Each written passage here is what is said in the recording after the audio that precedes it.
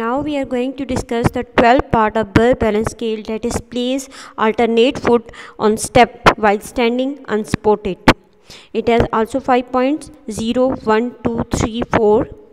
0 mean that the patient need assistance to keep from falling and unable to try.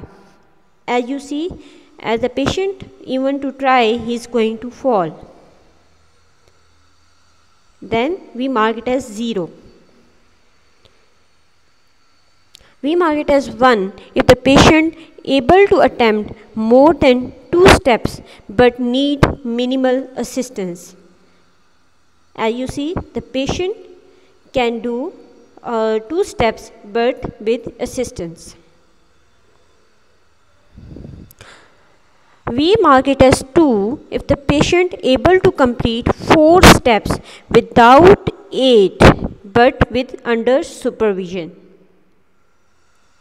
As you see, the patient can complete the 4 steps under supervision. We mark it as 2.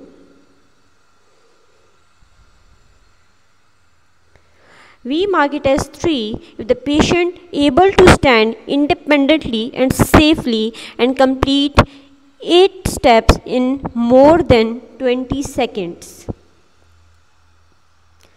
As the patient can complete 8 steps but the time is more than 20 seconds. Then we mark it as 3.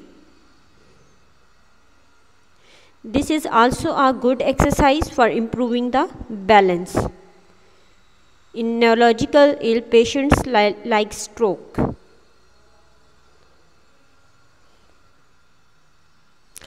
Now we mark it as 4 if the patient is able to stand independently and safely and complete 8 steps in 20 seconds. The time required for completing the 8 steps is 20 seconds.